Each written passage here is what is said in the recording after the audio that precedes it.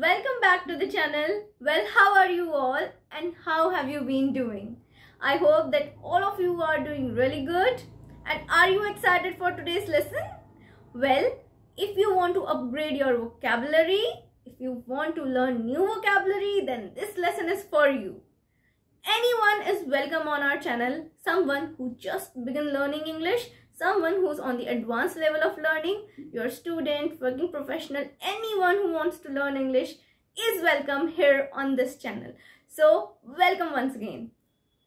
Today, we are going to learn something very important yet very exciting and enjoyable. You are going to enjoy this lesson a lot and at the end, you will have upgraded vocabulary.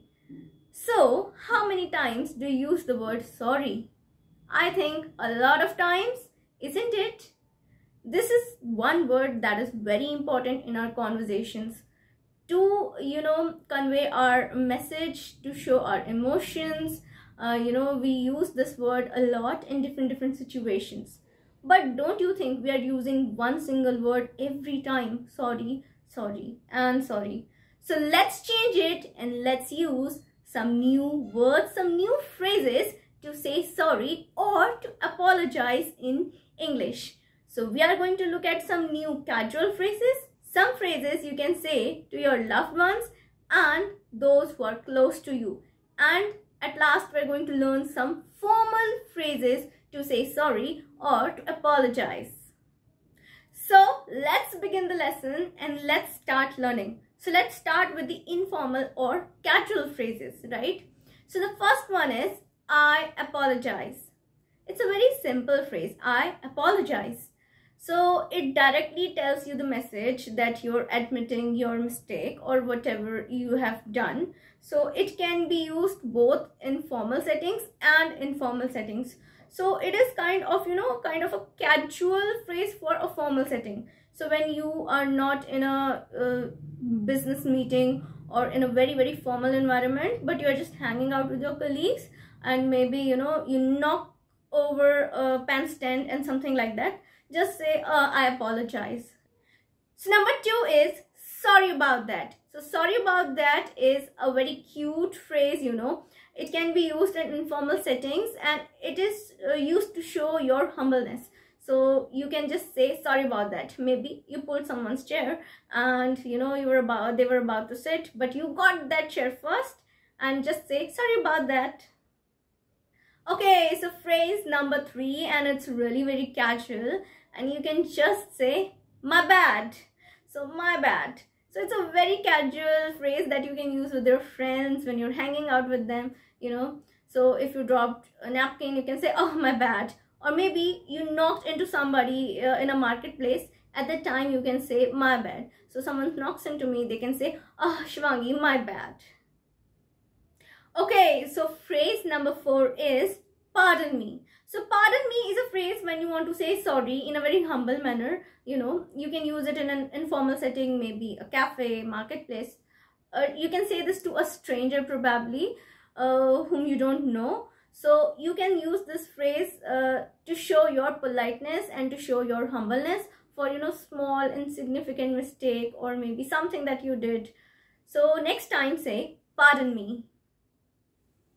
So phrase number five is my mistake. Well, it's similar to my bad, but you are taking more responsibility for something. For example, you lost your friend's CD. You can say, uh, I lost your CD, my mistake.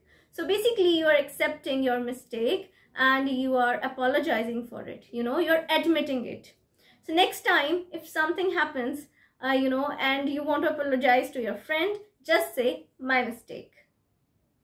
So the next one is number six and this is going to be really interesting. It's oops or whoops. So basically oops and whoops, it's kind of an expression, you know, with an exclamation so it's an expression that you can use if you did something very tiny, you know, very insignificant kind of thing. For example, dropping a pen, you know, uh, dropping a napkin, maybe uh, keeping the book on the wrong shelf. So very insignificant kind of things. So oops or whoops. Oops, I dropped the pen. Oh, whoops, I kept the book on the wrong shelf. So next time if you do these kind of small, small insignificant mistakes, just say oops or whoops. Now we are going to learn some phrases that we can use with our loved ones.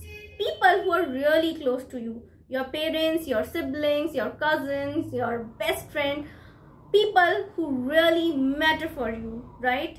So let's get started. So the phrase number seven is I am truly sorry or you can say I am deeply sorry. So basically you use this phrase when you hurt someone's feelings.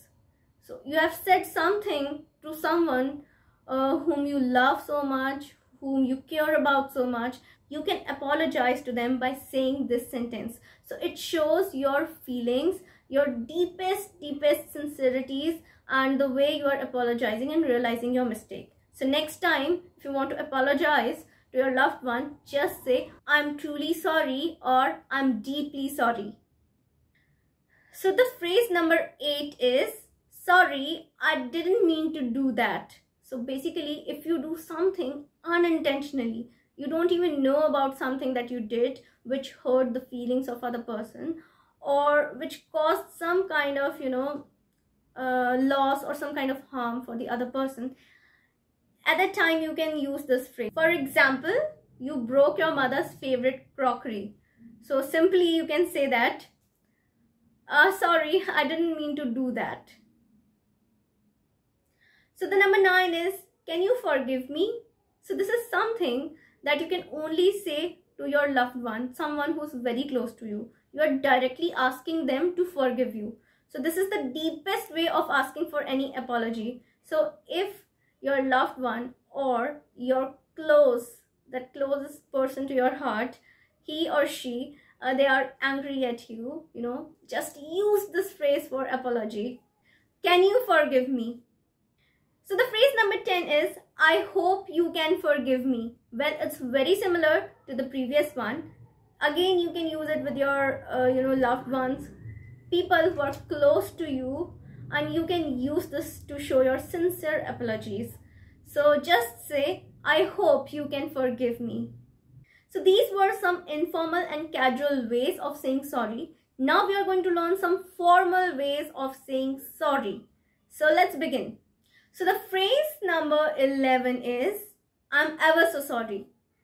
I'm ever so sorry is a phrase that you can use in a formal setting. So it's formal, uh, yet it's a simple phrase that you can say in very simple situations, normal situations. So next time, if you want to apologize at your workplace, simply say, ever so sorry. So the phrase number 12 is, please accept my sincere apologies. So this is the phrase which you can use at your workplace if uh, you commit some kind of mistake. For example, uh, you're not able to reach the meeting on time, you're not able to meet the deadline, or maybe uh, there was some kind of file you had to submit but you were not able to submit it on time. At that time you can use this phrase. So next time if you want to say sorry and be more impressive be more effective just say please accept my sincere apologies so the phrase number 13 is i owe you an apology. So I owe you an apology is like you can say it to your colleague, to your boss. You're saying this to a single person for something uh, you know you did.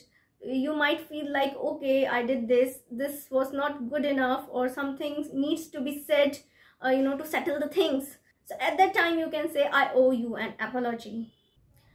So here comes the last phrase of the day and it's highly formal it's very formal people use this phrase only in the business meeting settings so the phrase is i beg your pardon so basically this phrase is used, I beg your pardon, when you're talking, when you are in the meeting specifically. So if you want to interrupt someone, you can say, I beg your pardon. If you don't agree with whatever the second person is saying, you can say, I beg your pardon.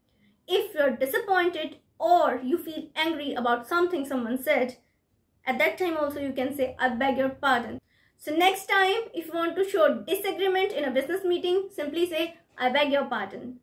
So these were all the phrases to say sorry. Different, different phrases of saying sorry in different situations. So be more meaningful while apologizing. Well, apologizing is something that occurs daily. We are not perfect and sometimes we do commit mistakes. So it's okay to apologize for our mistakes, right? So next time you want to say sorry, definitely use all these phrases that we did according to the situation and context. I hope you have learned new vocabulary now and you'll be using it in your daily life. So I hope this lesson was helpful for you and you enjoyed it a lot. Please like the video, share this video a lot and subscribe the channel if you're new on this channel. I'm Shivangi Gupta and I'll see you next time in the next video with a new lesson. Till then, take care.